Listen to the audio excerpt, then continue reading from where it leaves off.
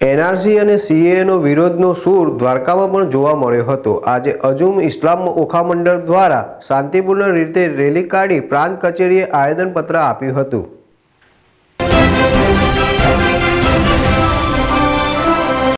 C double એ અને એનઆરસીના કાયદાના વિરોધમાં દ્વારકા હેલિપેડથી અંજુમને ઇસ્લામ ઓખા મંડળ દ્વારા રેલીનું આયોજન કરવામાં આવ્યું હતું.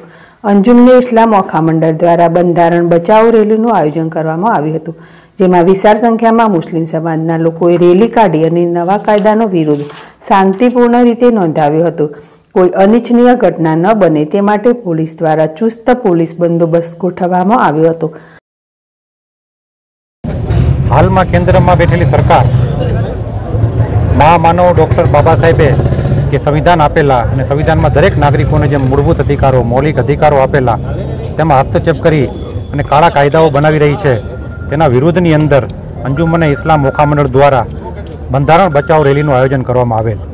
જેમાં દ્વારકા તાલુકાની વિવિધ સમાજના બહુ મોટી સંખ્યાની અંદર લોકોએ હાજરી આપેલ.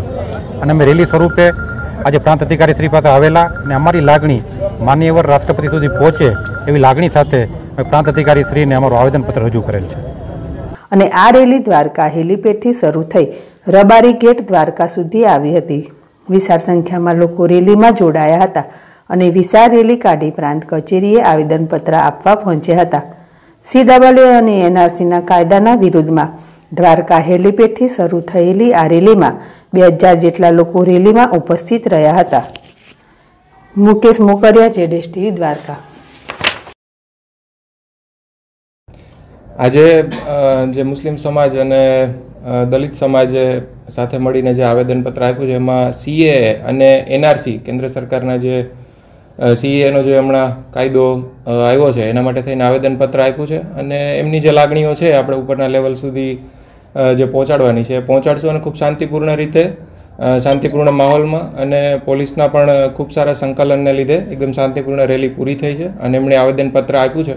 જે માગણીઓ છે જે એમની લાગણીઓ છે આપણે ઉપર પહોંચાડશું. થેન્ક યુ સાહેબ આપનું શુભ નામ? નિહાર ભેટારિયા. નિહારભાઈ?